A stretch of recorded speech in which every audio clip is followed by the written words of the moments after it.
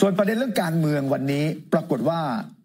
มีข่าวที่สำนักข่าวอิสรารายงาน และหลายสำนักก็รายงาน แต่ทีมข่าวเรานี่พยายามจะตรวจสอบไปที่กกตนะ เพราะเรื่องนี้เป็นความคืบหน้าสำคัญ ปรากฏว่าอาจารย์แสวงบุญมีเนี่ยไม่ได้รับโทรศัพท์ ไม่รู้ท่านติดอะไรอยู่นะแต่ข่าวนี้ก็คือกกตตั้งสอบคำร้องยุบเพื่อไทยหกพักร่วมปมทักษิณครอบงำนะอันนี้คือประเด็นข่าว รายงานเพิ่มก็คือว่า เลขาธิการกกตในฐานะนายทะเบียนพักการเมืองพิจารณาหกคำร้อง ที่มีผู้ร้องให้กกตพิจารณาสั่งยุบพักเพื่อไทย และหกพักร่วมรัฐบาลเดิม จากเหตุที่นายทักษิณชินวัตรซึ่งไม่ใช่สมาชิกพักทำการครอบงำชี้นำนะจนในที่สุดเห็นว่าคำร้องมีมูลให้ตั้งคณะกรรมการสอบสวน ต้องทำให้เสร็จใน 30 วัน ขยายเวลาได้ครั้งละไม่เกิน 30 จนกว่าจะแล้วเสร็จ อันนี้เป็นรายงานข่าวสำนักข่าวอิสราในพาดหัวว่ากกตตั้งคณะกรรมการสอบยุบพักทักษิณครอบงำเพื่อไทยหกพักร่วมรัฐบาล แต่เนื้อหารายละเอียดเนี่ยไม่ได้หมายความว่าชี้มูลแล้วไม่ใช่นะแต่ตั้งคณะกรรมการสอบคือมีมูลเบื้องต้น สามารถตั้งคณะกรรมการสอบได้ แต่คณะกรรมการสอบก็ต้องไปสอบสวน แล้วมีความเห็นเสนอนะทีนี้ ภายใน 30 วันถ้าไม่เสร็จขยายเวลาได้จนกว่าจะเสร็จ ขยายได้ครั้งละ 30 วันนะอันนี้เป็นกรณีที่มีการประชุมที่บ้านจันทร์สองล่านะซึ่งถ้าเรามองภาพใหญ่ของบรรดาคำร้อง อันนี้คือคนไปร้องต่อกกตที่บอกว่าไม่เปิดเผยชื่อว่าใครร้องอะ่ะแต่อันนี้เป็นหนึ่งในปมที่คุณธีรยุทธ์ไปร้องที่ศาลรัฐธรรมนูญด้วย ใช่ค่ะคงจำได้จำได้ อันนั้นไปร้อง คุณทักษิณและพรรคเพื่อไทยค่ะหนึ่งในหกปมก็คือกล่าวหาว่าทักษิณกับเพื่อไทยเนี่ยนะกระทำการล้มล้างการปกครองนะโดยการให้ทักษิณแทรกแซงระบบพรรคการเมืองค่ะนะอันนั้นคือคำร้องที่ไปร้องศาลรัฐธรรมนูญนะซึ่งตอนนี้สารรัฐมนูญอยู่ระหว่างการพิจารณาว่าจะรับหรือไม่รับแต่อันนี้ที่กกตทีนี้กกตในคนไปร้องไว้ก่อนหน้านี้กกตให้ตั้งกรรมการสอบสวนแล้ว อันนี้คือแยกกันนะเพราะฉะนั้นนี่คือความคืบหน้านะโอ้โห ประเด็นนี้ก็น่าสนใจว่ากระบวนการถ้าเกิดว่าเข้าข่ายมีมูลนะกกตในทะเบียนว่ายังไงในทะเบียนก็สุดท้ายก็ต้องส่งไปสารรัฐธรรมนูญ ถ้าหากเห็นว่าเข้าขายนะโอ้เรื่องใหญ่เลยถ้าอย่างนั้นใช่แต่ตอนเนี้ยเดี๋ยวรอรายละเอียดเพิ่มเติมก่อนว่า ยืนยันไหมข่าวนี้แต่ตอนนี้หลายสำนักก็ได้ข้อมูลมาเหมือนกันค่ะอย่างอิสราเมื่อสักครู่ก็บอก กกตตั้งคณะกรรมการสอบยุบพักนะในขณะเดียวกันกรณีของร่างพรบนิรโทษกรรมจะเข้าเมื่อไหร่ อันนี้เป็นประเด็นที่ต้องตามต่อ แม้ว่าเมื่อวานนี้ผลการศึกษาเรื่องแนวทางการออกกฎหมายนิรโทษกรรม เสนอเข้าสภาไปแล้ว อภิปรายกันแล้ว แต่ยังไม่การลงมติปิดประชุมไปซะก่อน สัปดาห์หน้ามาใหม่ก็ต้องพิจารณาเรื่องนี้กันอีก วันนี้คุณชูศักดิ์สิรินินรัฐมนตรีประจำสำนักนายก ในฐานะประธานกรรมธิการวิสามันนะที่ไปศึกษาแนวทางการตราพระราชบัญญัตินิรโทษกรรมเนี่ยพูดถึงการดำเนินการหลังจากนี้ เมื่อวานก็คือวันที่ 17 สั่งปิดการประชุมโดยประธานสภา แต่ว่ายังไม่ได้มีการลงมติว่าเอายังไงนะคุณชูศักดิ์มีบอกเลยนะว่า ก็ควรจะพิจารณาให้แล้วเสร็จนะว่าจะเอายังไงนะเรื่องนี้จะเอายังไงส่วนคนที่ไม่เห็นด้วยนะ ก็สามารถที่จะไปพิจารณาได้ในชั้นร่างกฎหมาย เพราะว่าอันนี้มันไม่ใช่ร่างกฎหมาย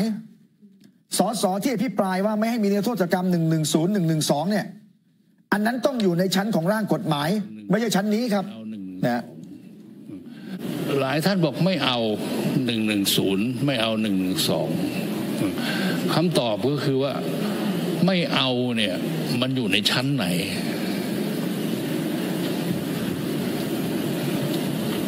การไม่เอาก็คืออยู่ในชั้นการยกร่างกฎหมายถูกไหมถูกไหมคุณก็ต้องเสนอร่างกฎหมายเข้าไป ว่า เออไม่มีนะขณะนี้มันไม่ใช่ชั้นนั้น ผมอย่างขณะนี้มันเป็นเพียงรายงานการศึกษายังไงต่ออาจารย์แบบคืออาทิตย์หน้าต้องเข้าให้มันจบหรือมันหรืออาจารย์จะถอนรากเลยมันคงไม่ถอนแล้วครับ ก็ก็ผมก็คิดว่าต่อไปเนี่ย ก็คือหนึ่งยืนยันว่าไม่ถอนออกมาหรอก สภาเริ่มพิจารณาไปแล้ว ก็แค่ลงมติเห็นชอบไม่เห็นชอบส่งคอรมอหรือไม่ค่ะมันยังไม่ใช่ร่างกฎหมาย อันนี้คุณชูศักดิ์ศิรนินกล่าว คือถ้าเราไปดูบรรยากาศการอภิปรายวันก่อนนะค่ะเพื่อไทยเนี่ยก็อภิปรายไม่เห็นด้วยหลายคนนะค่ะกับร่างถ้าเกิดว่าจะไปในโทษคดีหนึ่งหนึ่งศูนย์หนึ่งสองไม่เอาอืมพักร่วมฝ่ายรัฐบาลทั้งหมดเลย ไม่เอาหมดเลยนะ รวมไทยสร้างชาติภูมิใจไทย ประชาธิปัตย์ไม่เอาเนื้อโทษคดีทุจริตด้วย ไม่เอาเนื้อโทษหนึ่งหนึ่งศูนย์ไม่เอาหนึ่งหนึ่งสองก็มีชัดเจนก็คือพักส้มพักเก้าวไกลอะอืมพักเก้าวไกลเดิมพักประชาชนปัจจุบัน ที่บอกว่าต้องรวม1นึด้วย แล้วก็สนับสนุนให้ส่งรัฐบาล เพื่อพิจารณาดำเนินการออกกฎหมายนิรโทษกรรม ตามแนวทางที่รวม1นึอืมก็ยันกันอยู่ตรงนี้ จนกระทั่งประธานพิเชษฐ์ปิดการประชุมก่อนจะมีการลงมติค่ะแล้ววันนี้ประธานพิเชษฐ์เชื้อเมืองพาน รองประธานซึ่งทำหน้าที่ประธานตอนที่มีการปิดการประชุมนะเจ้าตัวยืนยันนะว่า ตัดสินใจถูกแล้วที่ชิงปิดการประชุม ผมต้องควบคุมนะแล้วตกลงคุณจะโหวตหรือไม่ทุกอย่างมันชัดเจนหมดแล้วนะแล้วการอภิปรายบรรยากาศยังจะมีคนอภิปรายอีกนะเพราะฉะนั้นยืนยันสถานการณ์นั้น ปิดการประชุมเนี่ยไม่ได้เข้าข้างใครเลย นะถูกต้องแล้ว แล้วหลังจากนี้ก็เอากลับมาพิจารณากันสัปดาห์หน้า ก็พิจารณากันใหม่นะว่าจะลงมติยังไงนะนี่อันนี้คุณพิเชษฐ์เชื้อเมืองพานกล่าวนะเพราะยังไงก็ตามมันมีร่างกฎหมายนิรโทษกรรมที่พรรคการเมืองอื่นๆเนี่ยพรรคการเมืองต่างๆเนี่ยเสนอกันอยู่แล้วค่ะอันนี้มันเป็นคือรายงานความเห็นนะอันนี้ก็เป็นประเด็นเรื่องในสภาค่ะก็มีการวิเคราะห์กันว่า เอ๊ะทำไม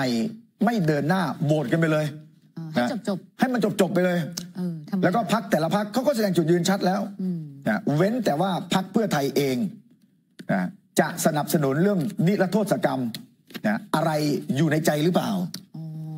นะเพราะฉะนั้นจะมีการเคลียร์ใจกันงานกินข้าวกันสัปดาห์ต้นสัปดาห์หน้าเนี่ยอ่า21 ตุลาจะมีการหยิบเอาเนี่ยมาหารือกันด้วยหรือเปล่าอ๋อต้องรอดูนะ เออ อันนี้เรื่องการเมืองไง ค่ะคืออย่าให้การเมืองมาเป็นตัวถ่วงการแก้ปัญหาอื่นๆเลยผมว่านะ อันนี้ความเห็นผมนะ อย่างวันเนี้ยธนาคารที่นำร่องก่อนใครเพื่อนเลยในการประกาศลดดอกเบี้ย ตามดอกเบี้ยนโยบายที่กรงลดลง คือธนาคารออมสินครับ อันนี้ธนาคารรัฐกันเนาะลดลงก่อนเพื่อนเลย คือทุกธนาคารต้องลดเนาะเพราะว่าแบงก์ชาติลดแล้ว คือควรจะลดควรจะลดอ๋อนะ0.25%ต่อปีมีผล 1 พฤศจิกายน ค่ะ แต่ประกาศก่อนใครเพื่อนเลยออมสินนะค่ะ นะเพราะฉะนั้นเดี๋ยวแบงก์อื่นก็ตามแหละดูท่าทางใช่ นะผมทายว่าแบงก์ต่อไปน่าจะเป็นทอสนะทกสอย่างเงี้ย กรุงไทยอย่างเงี้ย แบงก์รัฐหมดเลยดิ เออมันต้องเอกชนด้วยมันต้องลด นะเออไม่ลดไม่ได้ใช่ค่ะนะมันเป็นนกลไกที่เป็นไปตามมาตรฐานนะอืมนะแต่ทีนี้ประเด็นสำคัญคือจะทำให้เข้าถึงยังไงทีนี้สินเชื่อ ค่ะ วันนี้ธนาคารออมสินเนี่ยเอ่อ มาตรการปรับปรุงหลักเกณฑ์โครงการสินเชื่อดอกเบี้ยต่ำซอฟโลนนะครอบคลุมไปสู่ SME ผู้ประกอบการรายย่อยนะไมโคร SME และผู้ประกอบการอิสระที่ประสบอุทกภัย ขอสินเชื่อดอกเบี้ยต่ำได้ครับนะนี่ครับ อันนี้เป็นมาตรการที่ออกมาเพิ่มเติมนะแล้วยังคงมีอยู่นะ ใครสนใจก็ไปขอได้ไปติดต่อรายละเอียดได้ ในขณะที่ภาคเอกชน เรื่องเศรษฐกิจเนี่ยท่านประธานสมาคมผู้ค้าปลีกไทย คุณนัทวงพาณิชย์เปิดเผยว่าทางภาคเอกชนค้าปลีกเนี่ยมีข้อเสนอต่อนายก ใช่ค่ะ ข้อเสนอนั้นก็คือการฟื้นโครงการช็อปดีมีคืนขึ้นมานะคะ โดยคุณนัทพงษ์วงพาณิชย์ในฐานะประธานสมาคมผู้ค้าปลีกไทยนะคะ ท่านเปิดเผยว่า ทางสมาคมผู้ค้าปลีก พร้อมที่จะให้ความร่วมมือกับภาครัฐ แล้วก็ทุกฝ่ายในการกระตุ้นเศรษฐกิจ โดยได้เข้าร่วมโครงการฟื้นฟูเศรษฐกิจ ลดรายจ่าย เพิ่มรายได้ ขยายโอกาส จัดงานมหกรรมลดราคาสินค้าต่อเนื่อง 5 เดือนเต็มนะคะ แล้วก็ทางสมาคมเนี่ยอยากที่จะเสนอไปยังนายกแพทองธารด้วย ให้นำเอามาตรการช็อปดีมีคืนกลับมา ในช่วงปลายปีนี้ก็คือปลายปี 67 นี่แหละค่ะ เพราะว่ามันจะเป็นช่วง high season จะกระตุ้นให้ mood ของการจับจ่ายใช้สอยเนี่ยมันกลับมาอีกครั้งหนึ่ง แล้วก็เพิ่มโอกาสในการจำหน่ายสินค้าให้กับผู้ประกอบการ แล้วก็ SME ที่จดทะเบียนแวดเอาไว้ด้วย หรือยังไม่เริ่มใช้นะคะก็คิดว่าโครงการนี้เนี่ยจะช่วยได้ โดยมีข้อเสนอให้ลดหย่อนภาษีสูงสุด 50,000 บาทไปเลย จะกระตุ้นเศรษฐกิจได้มากกว่า 1 0 0 0 0แสนล้านนะคะ อันนี้คือข้อเสนอข้อเสนอของภาคเอกชน ใช่นะที่ผ่านมาเนี่ยรัฐบาลมีมาตรการคิกออฟโครงการฟื้นเศรษฐกิจไปแล้วค่ะนะอ่าวันก่อนไงที่กระทรวงพาณิชย์ที่กระทรวงแรงงานหลายๆกระทรวงเกี่ยวกับเศรษฐกิจเนี่ยไปร่วมกันค่ะอันนี้เป็นข้อเสนอจากเอกชนห้าหมื่นบาทเนี่ยเยอะนะปกติแต่ละปีช็อปดีมีคืนจะประมาณสามหมื่นหรือไม่ก็สี่หมื่นครับ